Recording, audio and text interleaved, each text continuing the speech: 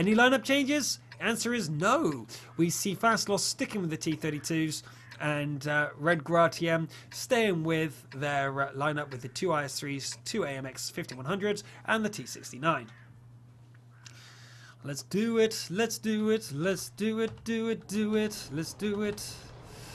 Right, now we have them from the south position. Do they do something completely crazy? Yes, the answer is oh, yes, they are. The um, uh, no, not a single guy is heading over to the banana or up onto the hill. We're not getting a single uh, I sorry T1 or any T32s or even the AMX 50 100s. They're doing a full push this side. It's going to be scouted early from Calento from Red, um, Red uh, Gra, and that is going to be responding. They're going to be responding very quickly. The rest of the tanks, which would have been over here, are going to start taking positions. Uh, but is this going to be a push from um, from Fastloss? Is this going to be a push, or are they just going to sit back, get into position, and do some sniping? Answer is Multifrunk and Wannabeats are there trying to push forward. They're not getting any damage, which is really good. Fastloss haven't taken a single HP hit, which is absolutely fantastic for them. And they're in decent-ish positions to try and make something happen. But what are they going to do now? They uh, are pinging around the map, knowing where the enemies are going, but they're pinging heavily down the three column. Are they going to make a dash down the three? Well, uh, no, Blonde has seen Multi-Front, and they're going to fight it, fight it out here on the west front. Multi-Front got the better of the um, of the exchange there, with Dinero Blonde uh, having to fall back. Dynamo, though, did take a shot down, hit one event, and and he's going to be in trouble now. Only with 500 HP remaining, he can't really afford to go out again. Two more shots from anything, and he's down. So he's to be really careful. The Johns and Soplek on the corner here, really not sure what they're doing. They're rocking back and forth like they're being aimed at by artillery, and uh, they're feeling on the edge. I don't think Fastloss are very confident with their um, their strategy here because of the uh, jittiness of the tanks here. They're really jittery, they're not calm and collected. If you look at Gra TM, you don't see the same sort of behavior. They're really calm, they know where they are, they know what they have to cover, they're in position, and they know what they have to do. Much, much, much calmer um, from the play. Minx, on the other hand, is in combat, trying to get some damage off before anything happens. And there is some calls by the spectators, and I don't know what that's about. Are they disengaging?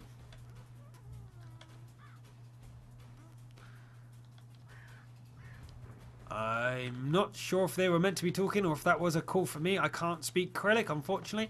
Um, but anyway, the battle is continuing. No one seems to be disengaging. Uh, we have IHD heading down the far side to see if he can make something happen, or if he's just going to protect the edge of the banana. He's just checking the edge of the, edge of the banana, check uh, spotting the Apel. The Apel would have spotted him back, so now they know that there are two T1s protecting this area of the map.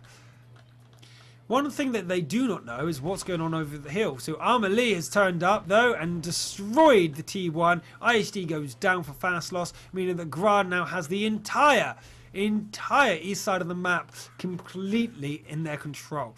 We have no vision whatsoever for Fastloss.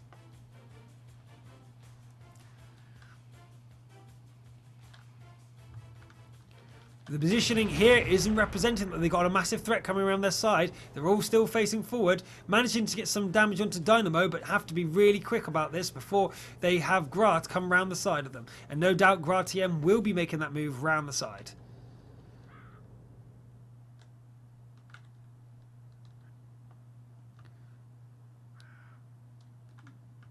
So far, we can't see what's going on over here, but we see Wanabante falling back, taking this advantage that the Gra TM guys have uh, changed position and is heading down this way to fall back and get out of harm's way. He needs to stay at the back to be effective, but really they haven't lost that much HP. Apart from the 900 from Wanabant, they really can do. Um, a lot here still. They're not out of it yet. And Missy Rock comes forward to scout them in his IS-3. No doubt he is not alone. He will have his teammates with him, no doubt very, very close behind. And we're going to see that very shortly as you see Soplek take some damage from somewhere. Two shots into the side. No doubt that's coming from the far side over here. Yep, through there and he's getting hit and he doesn't know where it came from but he's going to try and do some damage to Misty Rock. Will he be able to get a shot off? The answer is no. Misty Rock still scouting them and using his vision to supply his teammates with the ability to shoot them. Great shot though for Missy Rock, getting the free hit onto Soplek without any damage in return. These are the exchanges that Fastloss need to stop because they keep doing that. And in game one, they did it a lot, which caused them the loss. They uh, you can't afford to be doing this every time. If you are receiving damage and not giving damage back, you're losing the game. And we're seeing this with Fastloss. They're doing loads of little exchanges like this and always taking more damage than they're giving. In there, Soplek just received um, you know a thousand damage without receiving uh, giving a single back lag. Uh, Wanabante is down to 79 HP and he is taken out to Kalento, but Kalento is actually on 50 HP and Spline was not going to chase him. But he's going to turn around instead and go for Arm Lee. And uh, Lee's first shot doesn't do anything, and the second shot also doesn't do anything. He won't be able to kill Spline now, no matter what he tries to do. And Spline there is trying to take. What the? I was about to say that, but his ammo rack blows. How unfortunate. He was doing so well, but two shots must have hit into ammo rack and taken him down. Very unfortunate there for Fastloss that his Amarak has gone down, and Soplek and Johns are now still not supporting the teammates and panicked in their little uh, area over here. Now they just have to wait for their teammates to reload now, and Gra will come to finish them off. Soplek goes down, and now Josh uh, Johns are trying to do some sort of damage.